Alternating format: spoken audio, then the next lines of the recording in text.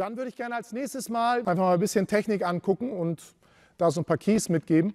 Erster Key wäre Handgelenke und Hände zusammen. Wichtigste Sache beim Baggern, Spielbrett. Okay, wir brauchen ein sauberes Spielbrett, wo möglichst keine Ecken und Kanten drin sind. Wie bekommen wir das hin? Ähm, wir wollen, dass Handgelenke und Hände zusammen sind. Dadurch haben wir ein schönes, gerades Spielbrett. Okay?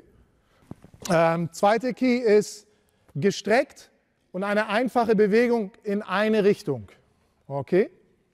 Das heißt, jetzt geht es nur darum, Arme und Hände gestreckt nach unten, ja, Ellenbogen sind gestreckt und wir wollen eine gerade und einfache Bewegung machen. Okay?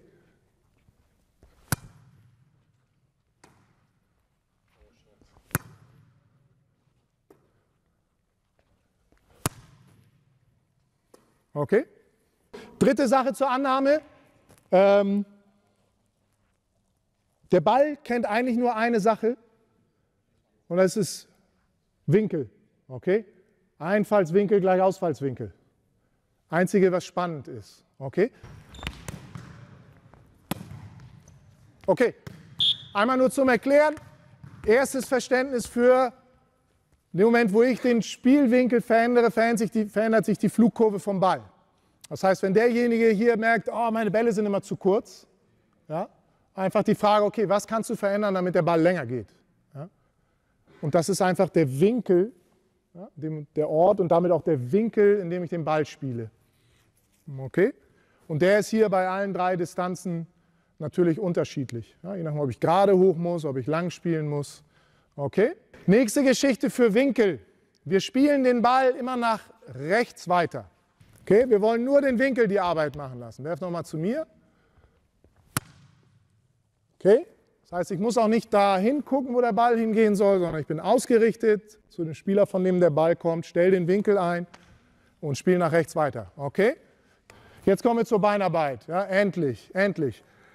Ähm, Schritte sind eigentlich Shuffle-Schritte. Das heißt, wir versuchen nicht groß zu überkreuzen, ja, sondern wir bewegen uns nur, es bewegt sich eigentlich maximal fast drei Schritte Bereich. Ja. Ich habe eins, zwei, drei.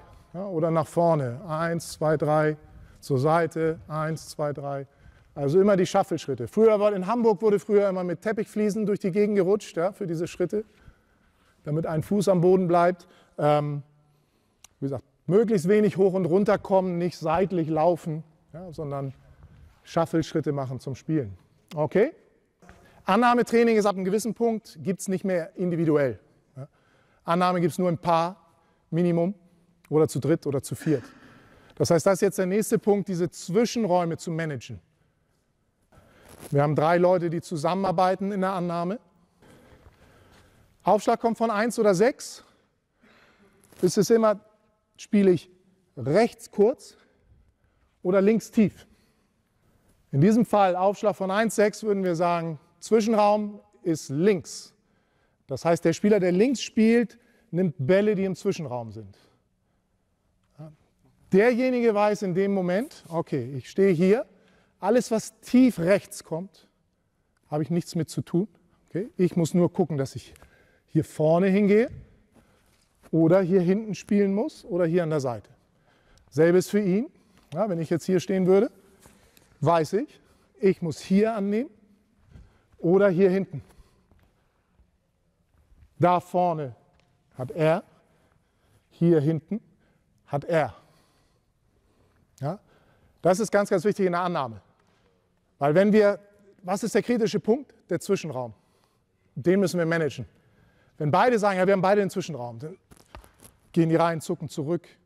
Das heißt, da äh, klare Absprachen, wer hat die Mitte.